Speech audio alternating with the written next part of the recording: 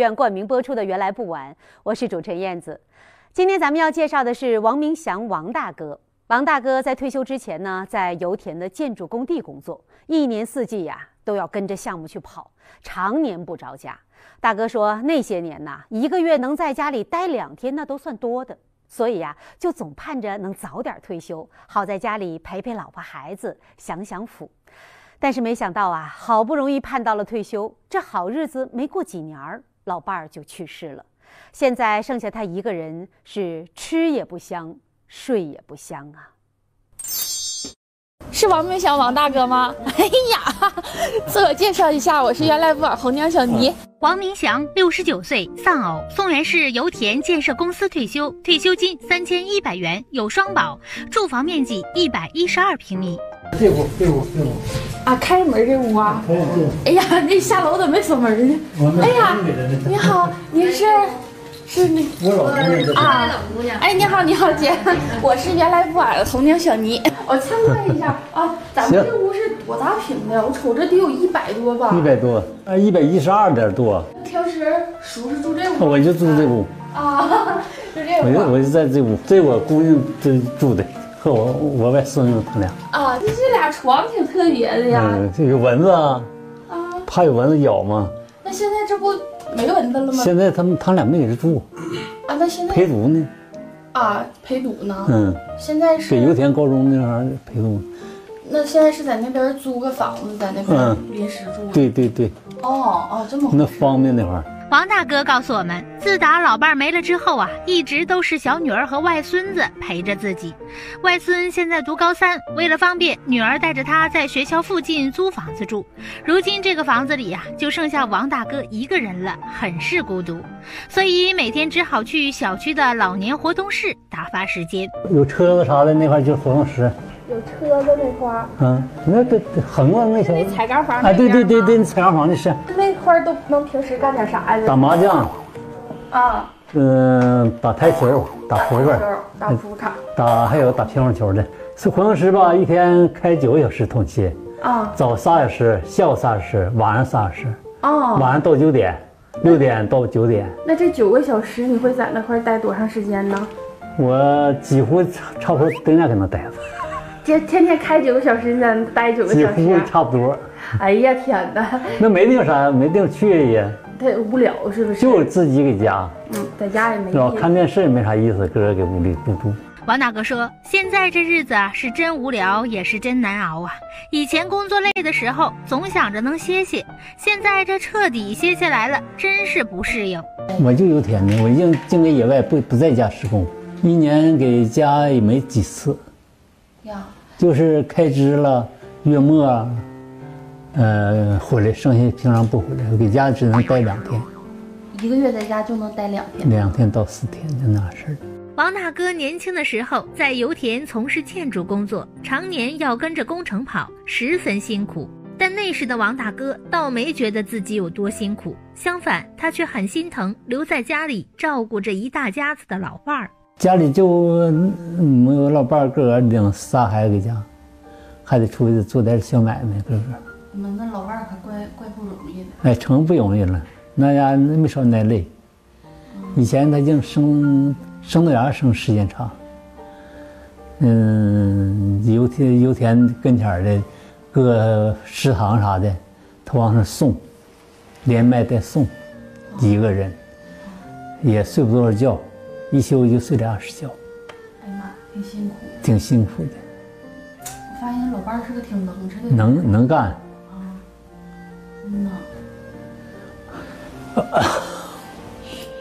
提起老伴儿，王大哥的声音也开始变得哽咽了。两年前，老伴儿因为糖尿病和脑血栓去世后，王大哥这心啊也跟着空了一半儿。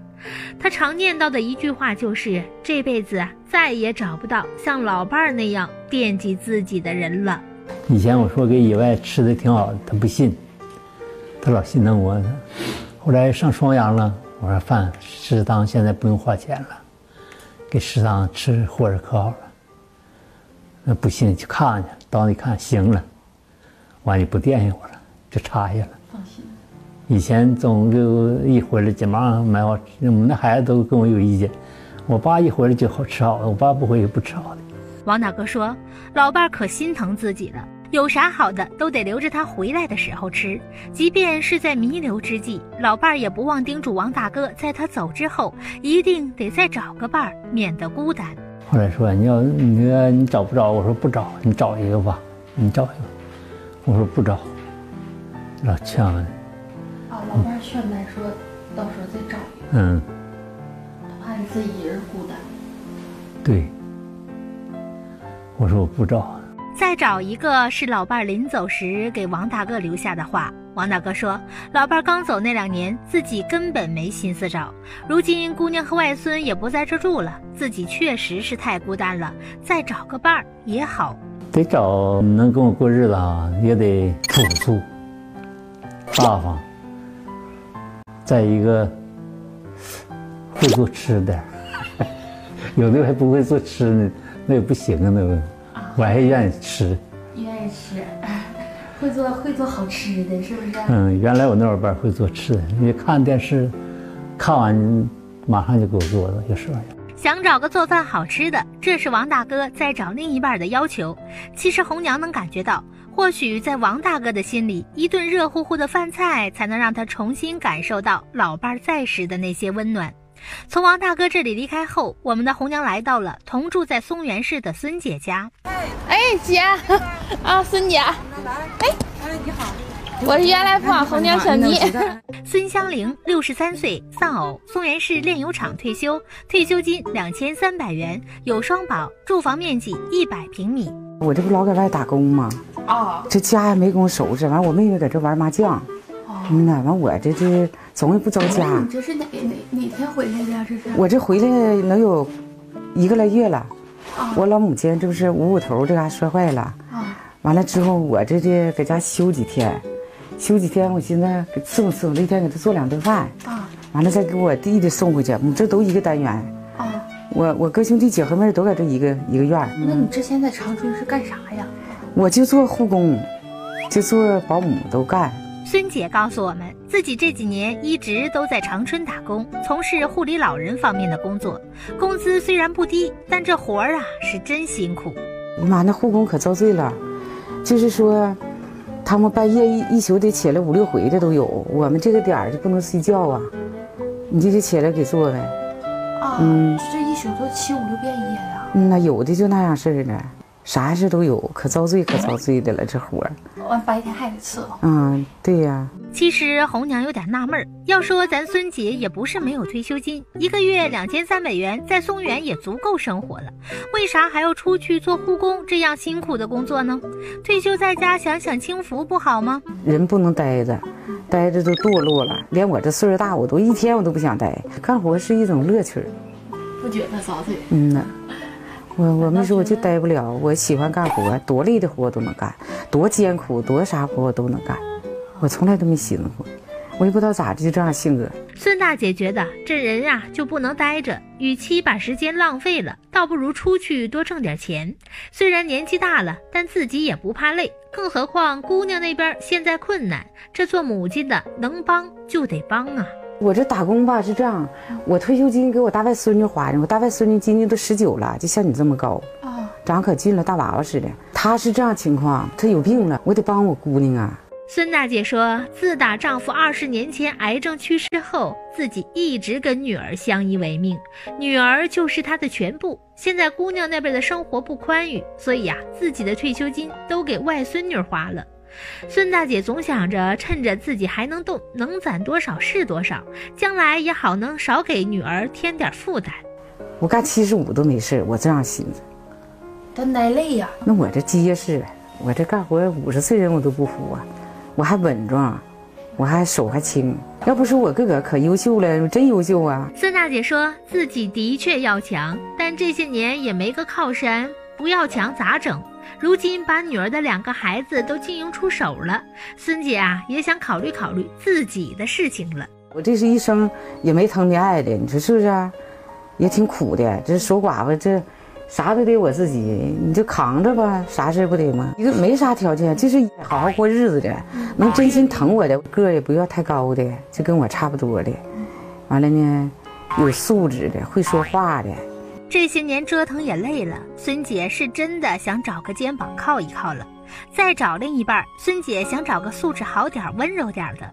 这王大哥不正好就符合吗？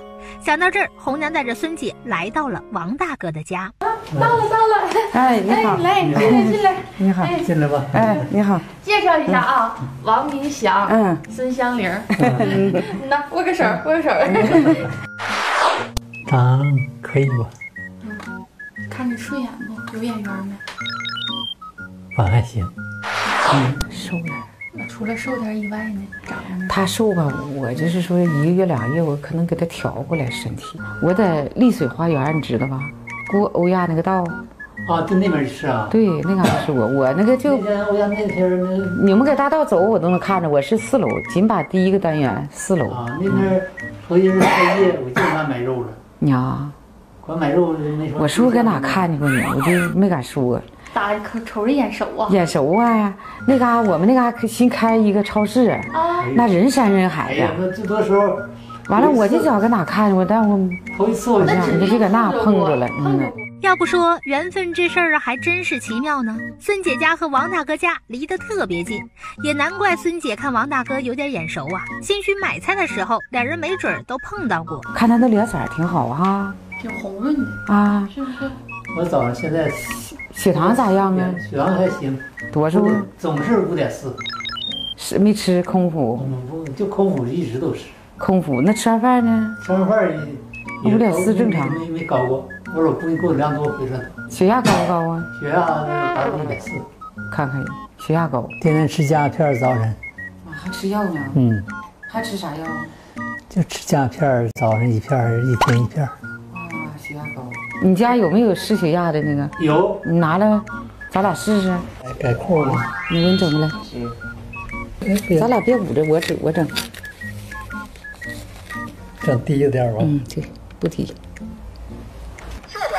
一百四十五，血压是高压一百四十，不正常。压九十二，毫米汞柱。他这稍高点儿，嗯，男的四十一百四可以也差不多，啊，低压高点儿。他身体呀，看这样就是血压高，反正血压高，这完了没啥事，吃点药啥的，调整一下身体也挺那啥的。因为之前从事过护理病人的工作，所以孙姐多少懂一些护理常识。而且啊，因为看多了生老病死，孙姐对两个人的健康问题呀、要更关注一些。那你在饮食上调整一下也能好一些。饮食我这一天你都吃啥呀？天天的大米饭，早晨早晨大米饭，再糖饼，吃馒头、烙盒子、馄饨。啊，喜欢吃糖饼。我买糖一坛子，买了那天那个这块超市卖贱两块五一斤，我买了两趟。啊，连肉没说那肉买，我这是半拉大夫啊，你那糖是你那病是吃出来的高血压，你不能老吃糖啊，吃糖不行，吃多了，很多疾病没说你都是糖类的，都是那啥的。你别说啊，就看咱孙姐这专业度，要是俩人真能成了，王大哥的饮食调理这块儿，孙大姐那绝对是能给整的明明白白的。我成会做饭了，我我做饭还好吃呢，到谁家都不乐意让我走啊。嗯呐，哎呀妈，多少人找我干活呀，我做饭好吃。就就想找个会做饭，做饭好吃。哎呀妈，我都不用你伸手，我要做饭，我跟你说，拾掇屋子就这么就这么事的屋子，我都得早都得擦了整。一个会做吃就满意了。你都有啥条件？你想？我呀、嗯，我就说你能好对好好对待我呀，就真心实意，像对你老伴儿似的呀，这我就知足了。你说是不是啊？那我懂。嗯，能啊，但不能留心眼子。啊，嗯，到你家来就是你的媳妇儿了，可不能说过两年半你有好的把我踹了，那多磕碜呐！那那我这一生都不能找了。不带干的。看得出来，王大哥这边也算是亮出了态度了。如果能走到一起，一定会真心实意的对待孙姐。就在红娘以为两人快成的时候，孙姐提出了一个这样的想法，让王大哥听后啊是直摇头啊。孙姐到底说了啥呢？咱广告回来呀，接着看。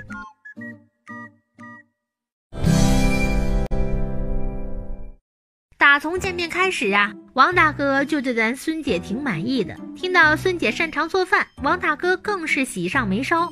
本想着接下来问问孙姐这边有啥规划和要求，可在听到孙姐的回答后，王大哥的心是凉了半截呀。将来退休啥的哈，我就寻思，俩人不能待着。你说，就比如说，你手里要没没点钱，他有病，也没多少钱；我有病也没多少钱，将来咋整？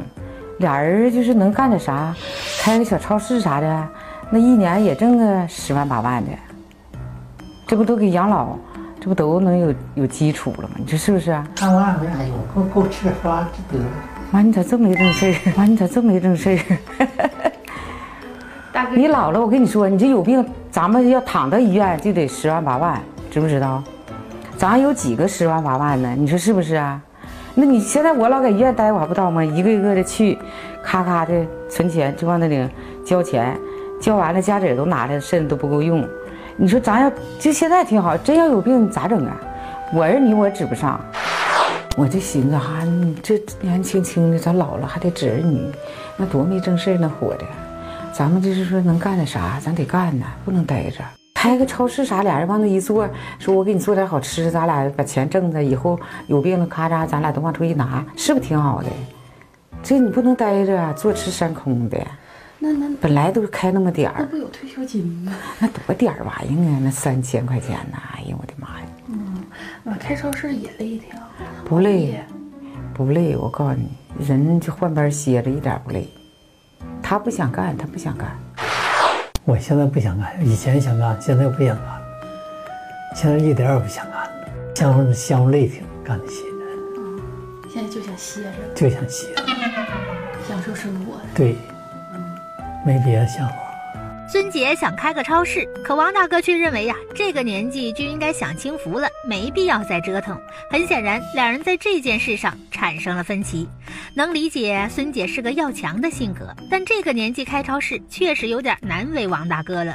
对此，孙姐又提出了另外一种解决办法。一个月吧哈，能给我存点药费钱。嗯，这点能啊，能，啊，多少钱呢？你说数也行。我别我别说数了，你看大爷他能给我存多少钱呢？那你说你说到老了是不是啊？你这我真要病了，就比如说撩，你说撩了就麻烦了存呢是一一年一存呢？你说，咱俩得商量。对，关键是你，你说一月给我支一回，我个儿存也行，你要一年存存也行。你想咋的哎，整？对，我还真没考虑这个。啊，嗯，那先先说，如果要是月的话呢？一个月一个月的，这一月多少呢？八百块钱收不少？就觉得那八百块钱就有点太少了，我感觉。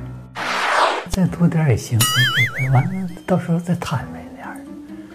绰好了我还兴许也添点儿，再给多多给点儿，最高一千不能超一千五，超不了。哦，超一千五我指定不不行。两千块钱最低的标准，我跟你说呀。一个月就三千一百多块钱给你两你就千，剩能一千一。就你过日子，就是就是他过日子，能就是三千块钱吗？姐，咱们是处感情啊。不是处感情啊，他不负责任呐、你都不知道有多少个那样式的过半路就走了。存不上我，我就那些钱能存两千吗？太多了，是不是？那那存不上，那该咋是咋的？在每月存多少钱的这个问题上，两人最后也没达成一致，所以还是决定做个朋友更合适。孙大姐想开个超市多赚点钱养老，这个想法呢倒是也挺好。但是王大哥说自己这些年一直在外面跑，是真的累了。如今呢退了休，就想跟老伴儿两个人一起乐乐呵呵的享享清福。开超市这事儿啊，他真的是心有余而力不足啊。所以呢，还是觉得跟大姐不怎么合适。那随后呢，红娘又想到了家住长春的江艳秋，江大姐。江大姐呢，人实在，尤其能做一手好菜，没准儿跟王大哥能挺合适的。